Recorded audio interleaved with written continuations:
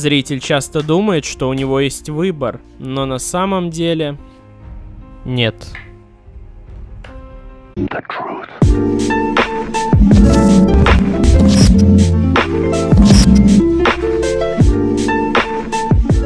Привет всем любителям фокусов, с вами как всегда Нейро Янг, и сегодня я покажу вам простейшее навязывание, которое называется Cross Cut Force.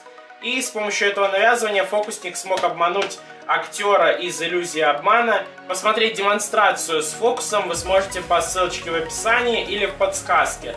Ну и мы сейчас разберем полностью, как все это делается. По сути, нужна всего лишь одна техника, так что поставьте лайк, и мы начинаем. А перед тем, как перейти к обучению, хочу посоветовать тебе канал People Man Magic. Молодой, опытный, амбициозный фокусник научит тебя поистине мощным фокусам. У него есть даже обучение на Classic Pass, которое длится 26 минут. Он действительно заморачивается над своими видео, приятная картинка, шикарный монтаж и, конечно же, подробное обучение. Если ты хочешь видеть в своей ленте топовые обучалки на топовые фокусы, переходи по ссылочке в описании. Навязывать мы будем туза пик, вот эту вот карту. Она у нас должна лежать сверху колоды. Для начала разберем навязывание, а потом как уже показывать сам фокус. Навязывание простейшее. Мы даем зрителю подснять колоду карт в любом месте. И именно говорим, в любом месте подсними. Он подснимает половинку, и мы сразу в этот момент, как только вот он убрал пол колоды, хватаем в руку вот эту колоду, делаем небольшую паузу, и вот эту пачку, которую мы схватили, то есть нижнюю, мы кладем вот так вот, накрест. После этого опять же делаем небольшую паузу и говорим, смотри, карта, на которую ты подснял, запомни ее. Разумеется, это не карта, на которой подснял зритель, это верхняя карта колоды. Но после того, как мы делаем нужные паузы и зритель уже не замечает всего происходящего, он просто расслабляется, он подснял в любом месте, в любом. А ему уже не важно, какую он карту будет запоминать, эту или эту он уже не разбирается, где верхняя, где из середины и так далее. То есть мы просто навязываем ему верхнюю карту в колоде. Давайте еще раз объясню, как это делать, прям именно подробно, с таймингом. Как это происходит? Смотрите, мы положили колоду, у нас карта сверху колоды. Мы просим зрителя подснять в любом месте. Говорим, что это произвольное место так, тем самым как бы уводя его вообще от того, где верх колоды, где низ, не обращая внимания на эти стопки, просто мы спрашиваем, ты же мог подснять в любом месте, так? Не связываем это с колодой, а просто обычный разговор. Поднимаем нижнюю пачку и кладем вот так накрест. И говорим, я вот так вот положу накрест, чтобы мы видели, на какой карте ты подснял.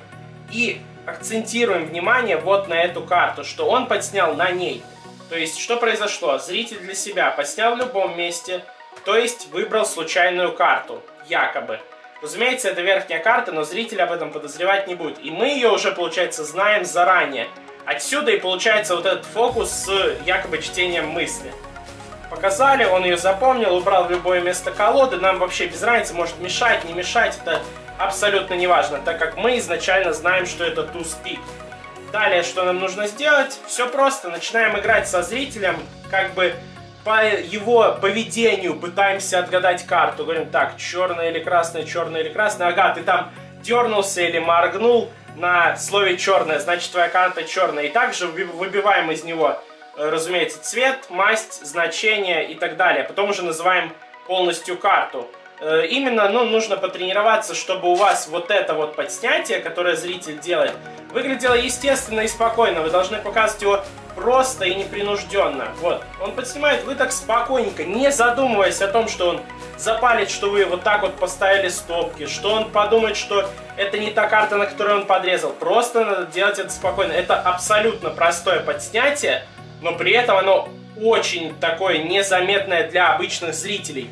Вроде кажется, что это за ерунда, элементарно вообще, но оно идеально работает зритель не думает, что может быть все так просто, и поэтому он реально думает, так, ну подснял, да, значит, здесь я вроде как и подснимал. Вот, в принципе, и все.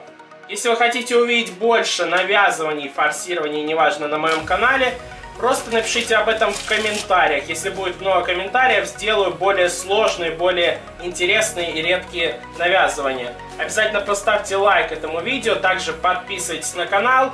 Нажимайте на колокольчик, чтобы не пропустить новые фокусы. С вами, как всегда, был Нера Янг. Всем удачи, всем пока.